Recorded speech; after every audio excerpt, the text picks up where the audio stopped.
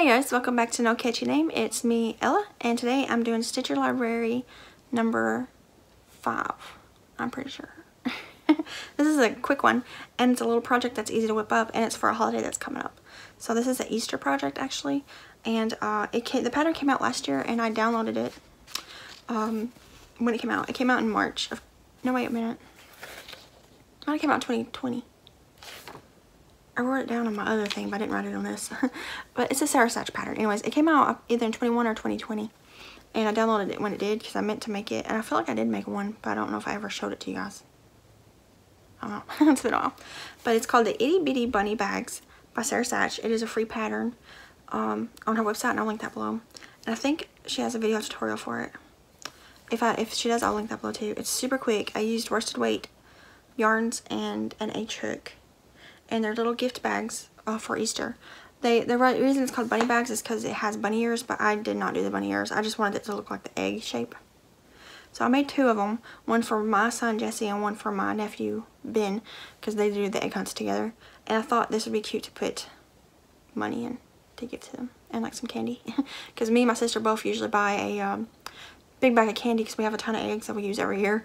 Um, and then we fill them up and hide the eggs, usually in my mom's yard and then both the boys go and get them. June's way too little this year to even care about Easter. She's going to be like almost three months when it's Easter this year. So she's not going to care. She's going to be sleeping and probably being held by a grandparent during the whole holiday. So um, I did just make the two. But here's what two I made. So I made this one. And it's like a little drawstring. Oh, I guess I should undo the drawstrings. That might be good enough. So it's like a little drawstring bag. That you put candy and, in my case, money. And then you pull it close. And you can tie it. But uh, the pattern does have bunny ears. I just didn't want to do that. I just wanted it to look like an egg, which it does. Especially when it is like full stuff, it'll look eggy. but uh, these are all red heart yarns. I know this is pale yellow and light blue. This is something to do with mint. It's like minty or something like that. And then I also, on the other one, it's, it's the pale yellow and pink. I can't remember what the pink is called. I always forget the pink name. but they're the exact same bag, so I just made two of them. And uh, in the in, with the intention of one being for Jesse and one being for my nephew too. So they can each get a little because we always make um, like golden eggs but we always hide them in spots where we know that one boy would get one of each you know? Uh, we kind of guide them to where it's at so that they both get money and stuff and it's fair you know? Because it's just two kids right now. I guess we'll do that too once June gets old enough because um, you know it's just it's just the three kids so far in our our immediate family.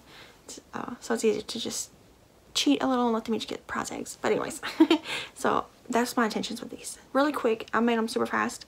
Uh, it's just double crochets and then chains because this is like a V-stitch thing going on here. Really easy. I do have the pattern printed out, but it's like in my brain now.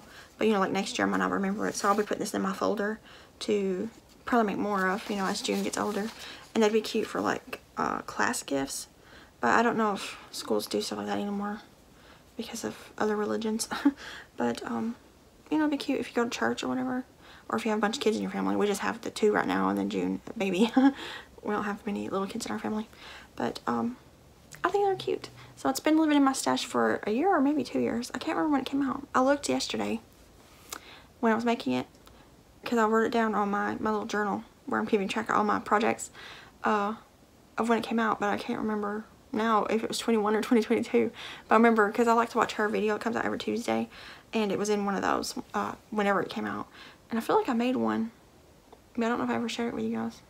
I can't remember. It's been a while. But it's so cute. So it's Stitch My Library number five. This has been sitting in my library for at least a year or two and now I finally made some and um, I think they're cute. I wish I had made this one one row shorter right here this so it been more like centered, but whatever. It doesn't matter. The kids aren't to care as long as there's candy money in it. so that's my little Stitch Library. Super cute, free pattern. I'll link the written ver version below, and I'm pretty sure there's a video tutorial because Sara's really good at making videos of all of her patterns. So I'll link them below if they're down there. And they're just cute. They whip up really fast. You can make them for Easter basket, like extra things. And um, they're just cute. I like it. but yeah, so that was my Stitch Library number five. I think. I can't remember. But I'm going to hop off here and I'll see you guys in another video. Bye guys.